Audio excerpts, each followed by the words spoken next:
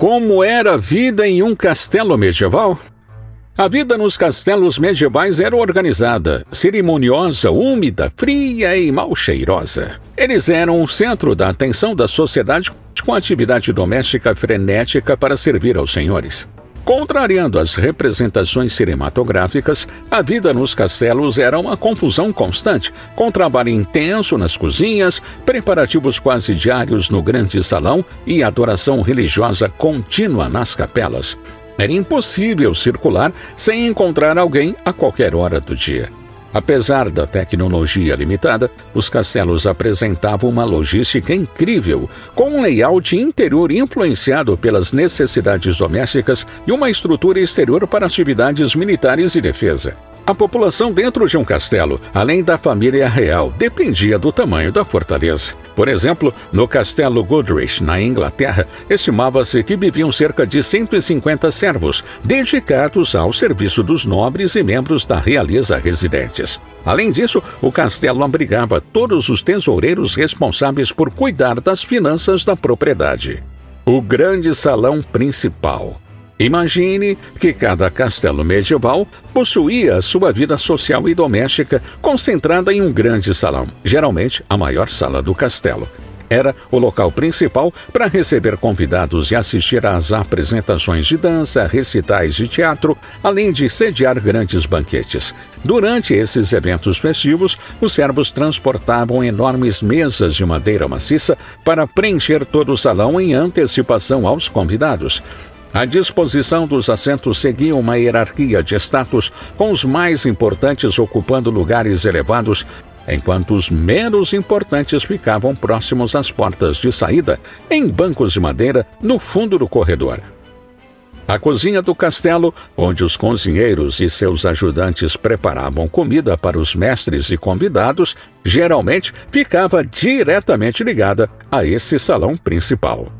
As cozinhas eram locais de constante movimento, porém, como sabemos, a higiene não era uma prioridade para essa época. O fogão a lenha jamais ficava apagado e sempre mantinha um enorme caldeirão com água fervente. No centro da cozinha havia uma grande mesa onde os empregados se alimentavam e onde eram preparados os alimentos. Um pequeno anexo da cozinha era reservado para o corte das carnes, bem como para pendurar linguiças e carnes secas ao sol. É fácil imaginar o forte odor que emanava desse local, não é mesmo? O espaço destinado às carnes estava infestado de moscas, frequentemente com larvas visíveis, e o chão era coberto por restos de carne em decomposição, sangue e ossos de animais. O quarto dos castelos.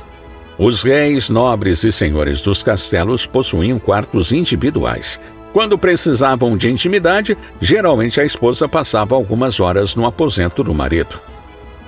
Cada um dos senhores, seja da realeza ou não, contava com uma grande quantidade de servos. A esposa, por exemplo, tinha suas damas que realizavam tarefas pessoais, como pentear seus cabelos, ajudar no banho e na troca de roupa. Ao mesmo tempo, cuidavam dos seus dejetos e panos menstruais, organizavam os aposentos para a noite de sono e acompanhavam em passeios e viagens. Frio, escuro e mal cheiroso. De qualquer forma, não tente romantizar demais as realidades desagradáveis da vida em um castelo medieval. Para nossos padrões de vida modernos, a maioria dos castelos medievais seria incrivelmente fria, absurdamente apertada, totalmente desprovida de privacidade e com um odor muito desagradável, além de provavelmente abrigar milhares de ratos.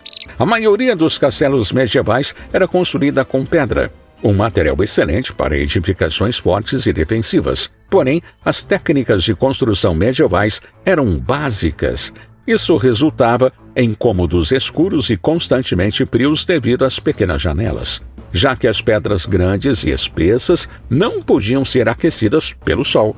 Contudo, os desenvolvimentos na arquitetura e no design gótico no final da Idade Média melhoraram esses problemas. Os castelos construídos no final dos anos 1200 começaram a ter janelas maiores e cômodos mais arejados, a invenção da lareira, no meio do período medieval, proporcionou ambientes mais aquecidos, tornando a vida em um castelo medieval mais suportável.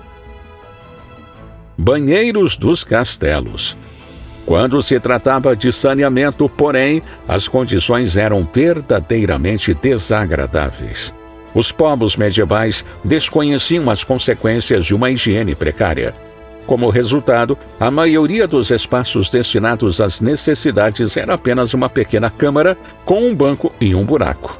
O que era depositado num buraco simplesmente caía, geralmente de uma grande altura, em uma fossa ou ao ar livre. O odor certamente era insuportável, especialmente durante o verão. Além da falta de higiene nos banheiros, também havia uma grande falta de privacidade. Na verdade, as sociedades medievais não valorizavam a privacidade como nós. Portanto, era comum encontrar uma longa fila de bancos sem separação entre você e seu vizinho enquanto ambos defecavam. Era uma prática normal nos castelos medievais fazer suas necessidades em grupo enquanto conversavam sobre assuntos aleatórios. De qualquer forma, apesar de tantos estudos sobre a Idade Média, nunca poderemos realmente sentir na pele a gelada e fedorenta experiência de viver em um castelo medieval. Bom, esperamos que você tenha gostado de saber um pouco mais sobre a Idade Média e a vida dos castelos. E então, deixe um like no vídeo inscreva-se no canal.